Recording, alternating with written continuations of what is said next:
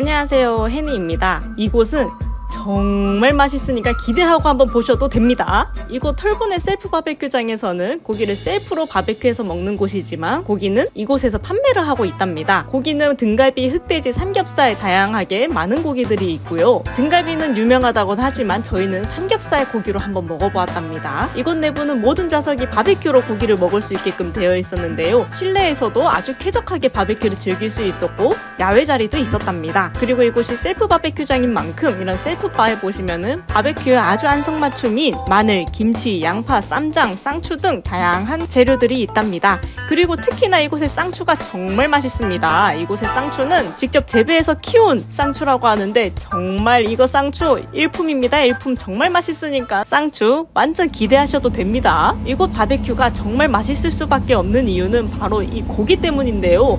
아, 이 통삼겹살을 이렇게 장작불로 1차 초벌구이를 하는데요.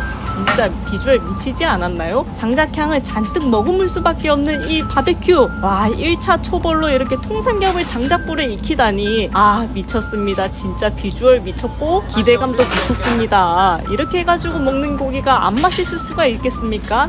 정말 맛있을 테니까 기대하십시오. 그리고 이렇게 바베큐를 하고 있는 곳 옆을 보면은 수많은 장작대기들이 있는데 아, 이 실제로 이 장작을 패가지고 이 고기를 굽는다고 하니 정말 아, 이곳이 제 집 근처였으면 얼마나 좋았을까요? 이렇게 푸르른 산세를 느끼면서 먹을 수 있는 이 바베큐장 이곳에서 또 맛있는 것이 바로 이 된장찌개인데요. 아, 이 된장찌개 양은 냄비에 끓여서 그런지 좀 더 맛있는 것 같습니다. 구수합니다, 아주. 그리고 나이 통삼겹 바베큐. 와, 이 장작향을 잔뜩 먹어가지고는 하나도 안 타고 어쩜 이렇게 육즙을 가득히 모으면서 굽혀졌는지 정말 이거 고기 대단한 고기입니다, 여러분. 고기를 한번 딱 썰 때마다 육즙이 똥 하고 튕기는 거 보이시나요? 진짜 이 통삼겹 구이에서는 정말 최고인 것 같습니다, 여러분. 이렇게 1차 초벌한 고기를 이렇게 먼저 썰어가지고 그 다음에 이렇게 숯불에다가 2차로 구우면 되는데요. 와.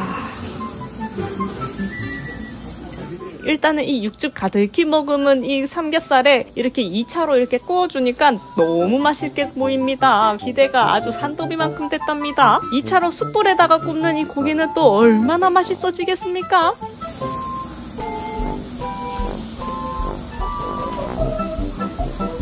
이곳 털보네 셀프 바베큐장은 옛날부터 있었던 곳이라고 하는데 최근에 이렇게 리모델링을 마치고 새로 이렇게 리뉴얼 됐다고 하는데 아 정말 새로워진 만큼 좀 더 맛있게 이렇게 업그레이드 되지 않았나 싶은데요. 고기와 함께 마늘 그리고 이 김치까지 너무 맛있어 보이는 이 고기를 그러면 제가 한번 먹어보겠습니다 직접 키운 이 쌍추에다가 고기 한 점 올리고 쌈장도 올리고 밥도 올리고 소금도 한 번 뿌리고 그런 다음 아주 맛있게 익은 마늘과 함께 앙 먹으면은 아 끝내줍니다 여러분.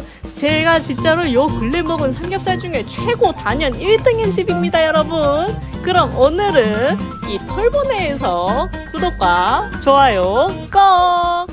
감사합니다